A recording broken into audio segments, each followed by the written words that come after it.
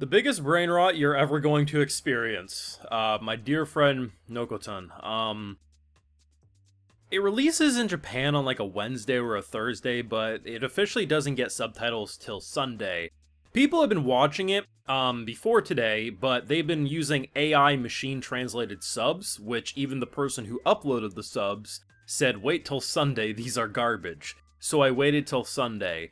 And while on one hand you can make the argument it's such a shitpost of a show that machine translated subs would just add to the comedy, but I would actually counter that argument and say, despite this show being peak brain rot shitposting, it legitimately is interesting on a dialogue level. It's such a parody, it's such a whiplash, but at the same time, I legitimately am not just thinking it's shock value. Every time those damn deer are on screen, I lose it. It's so funny. But it's actually a well put together show. The fact that within the first couple of minutes of an episode starting, you have an off yourself joke. Because the character breaks the fourth wall and says, Should we get a later time slot? Because of the offing, because that's what it looks like. You have a character who might be arguably the dumbest character I can recall. She at one point takes her head off and there's nothing in there. There's not even a singular brain cell. She's an idiot. But the idea that every step of the way, you have an tsundere MC who is the viewer. They gave us a character who is the viewer, who's saying, why?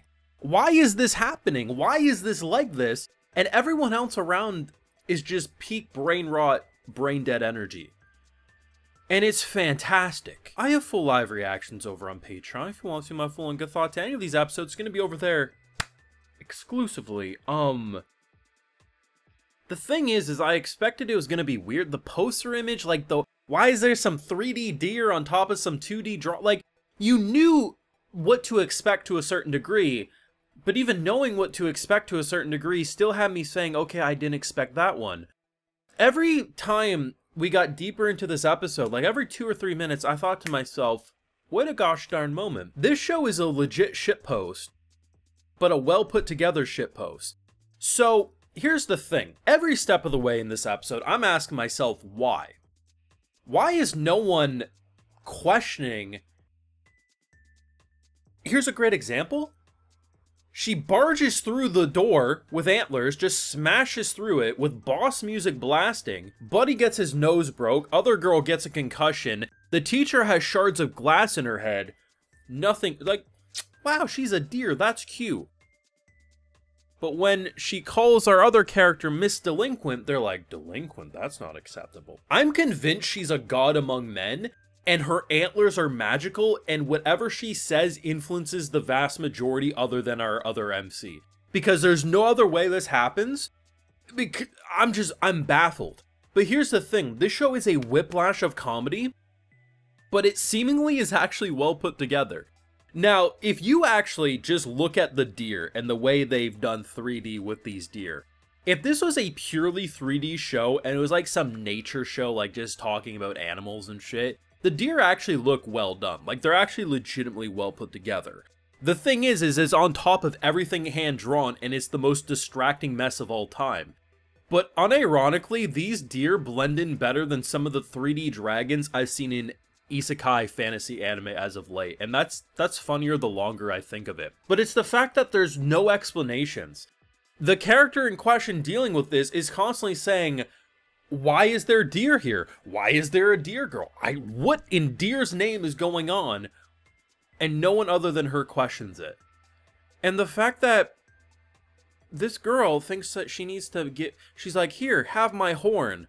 You can even eat it." God damn, you want more? You can have the second one. Don't worry, I can put him back. It's like this show has as much of a potential to build the best romance of the season as it does to commit to the most savage murder of the season. Because, as far as I can tell, these two gonna fall madly in love as much as potentially she's gonna kill this deer and have to go on the run for murder. Either one of those options are just as likely leaving this first episode, and that is hilarious to admit out loud, but no one can convince me otherwise that it's not. The fact that they start a deer club. And basically, we we adopt a pet. Like, she has to brush her. They end the episode with clearly someone who probably wants to pet the deer, and that's why she's so salty. But, like, the opening song? The chant? It's just. It's so fucking dumb. like, this is literally brain rot that's executed well. It's like. This is the difference of just throwing a lot of wacky ideas and hoping something sticks versus someone who says, hey, un- unironically, you know what would be funny? What if we just, like, we have an anime that's really well produced, drawn well, but we're gonna purposely add in very distracting 3D deer. There's gonna be a character who's part deer. They're not going to explain why, other than the main character like questioning what the hell's going on. And we're just gonna have Gintama level of comedy as we probably legitimately build a friendship between the two, if not more. And someone said, sure. That sounds fun. I'm convinced this is a Studio Trigger show, but I know it's not done by Studio Trigger. Like, this is the type of BS they would come up with. It's so good. It's so freaking good. And legitimately one of the best first episodes of this year. Like, including the winter, spring, and now summer season. Easily the funniest and hardest I've laughed watching an anime so far this year. And I'm so ready for more. The fact that they literally started with an offing yourself joke, followed by everything else that follows, in the opening, there's a Dark Souls reference, the you deer instead of you die. Like, the more you examine it, the funnier it becomes. It's so good.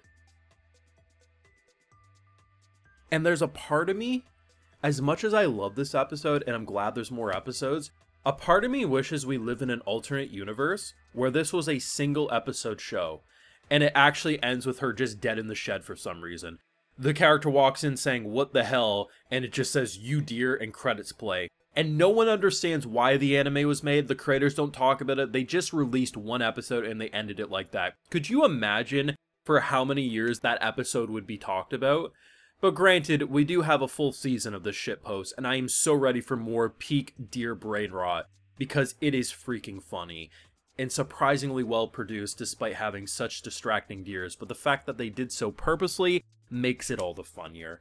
Let me know what the hell you thought of episode 1 of that that Dear God greatness and uh how pumped are you for episode 2? Let me know down below. Be sure to leave a like if you enjoyed, subscribe if you're new around here. Of course, ring that bell. And like I mentioned, we got those full live reactions over on Patreon, and uh, hey, while you're over there, I'll also give you a video shout out. Alright, so today we got Kakyu, Laser, Gaitin Plozank, Liam, Chris He, and Danny Chow. So I appreciate the support, everyone. Please take care, and y'all have a good one.